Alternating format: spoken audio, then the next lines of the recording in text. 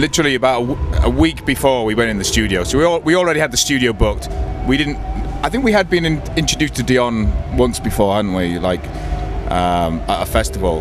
But basically, we were doing a show in London, and um, uh, a, a friend said, "You know, is it cool if uh, Dionne Charles? She's here. She's a singer. I think you met her before.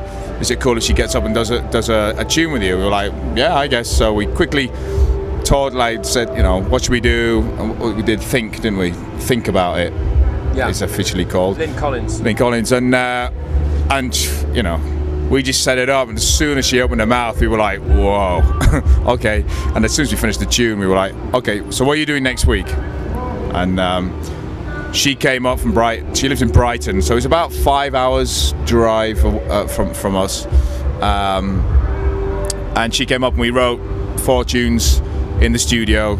You know, we, you know, we just went in the studio for like three days to, to fi- finish the album, and she wrote like there and then. You know, we kind of worked out the tunes, and um, and yeah, and that's four, four of the tracks on the album. We've been taking her on some European gigs um, so far. She's she's quite busy with her own band because she just released an album um, earlier this year, around the same time actually. Yeah.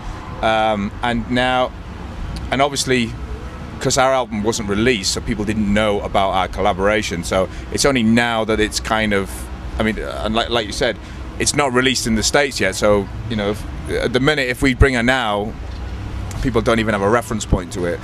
So um, also, and financially, we need a tour manager before we need to bring extra Yeah. guests on our gigs. Because and also, we, it's like we've just found large audiences that will accept us as an instrumental band.